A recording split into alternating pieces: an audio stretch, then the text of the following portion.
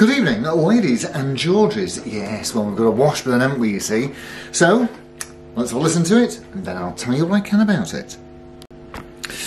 Okay, so I've got it plugged in at the moment, uh, so we'll try it amplified through the little Blackstar, and then we'll have a listen to it acoustically.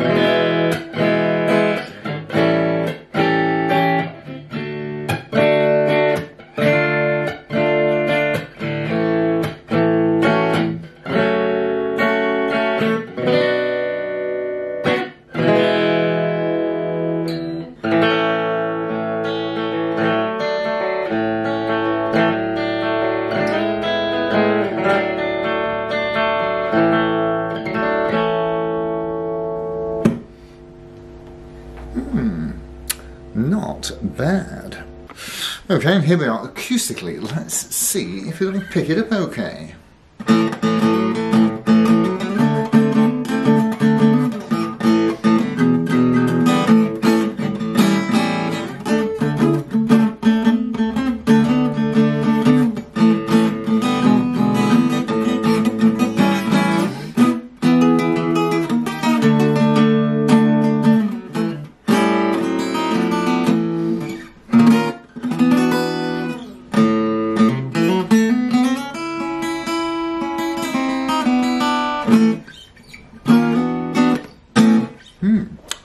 Let's have a chat.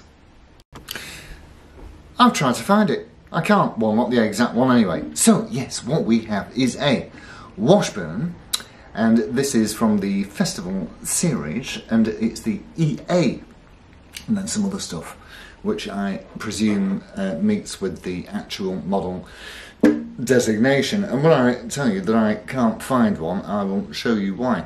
So we'll start at the uh, stem and work our way to the stern. So of course we've got this very very nice traditional Washburn headstock with the logo at the top there, spinning him round. Whoops. Uh, Washburn branded tuners. They look pretty go-to, don't they? Hmm. Do that thing. Hmm, didn't work. Anyway, never mind. Uh, so yes, and uh, what I assume is because the the woods do vary from one to another, but I would say that this is a mahogany neck.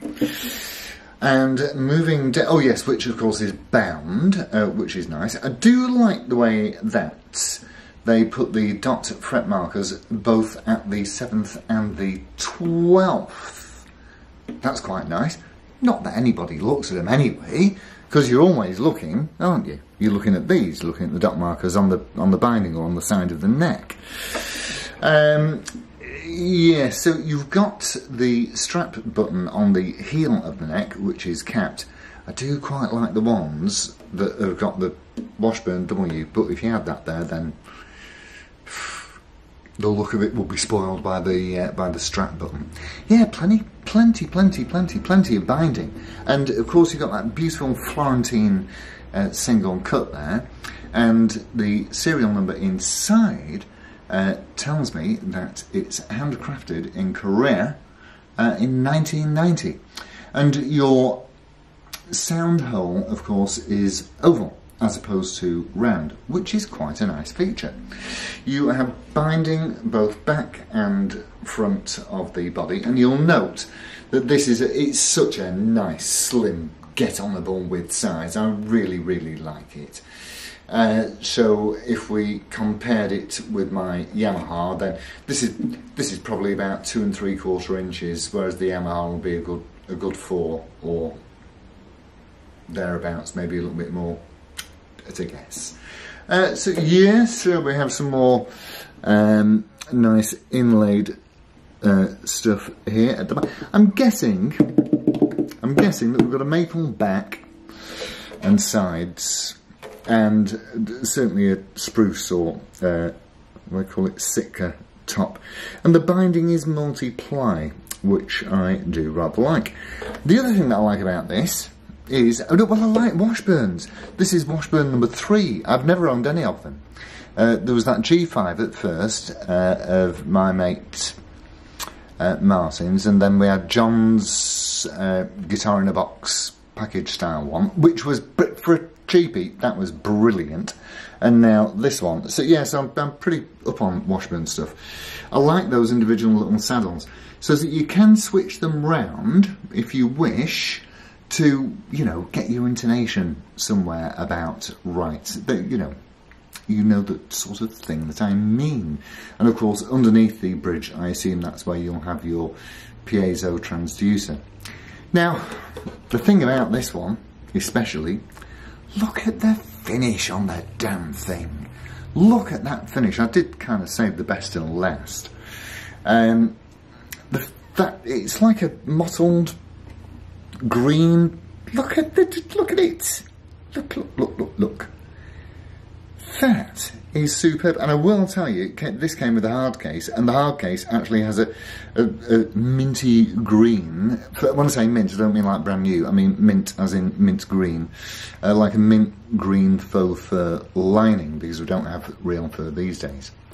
So on your uh, little Fishman style, let's make our acoustic louder uh, you have got a volume and bass, middle and treble. And that was the setting that I had them on for that little thing. I do find it a bit toppy, but that's probably the amp. And you could obviously address that if you knew how to make your amp warmer, like what I don't.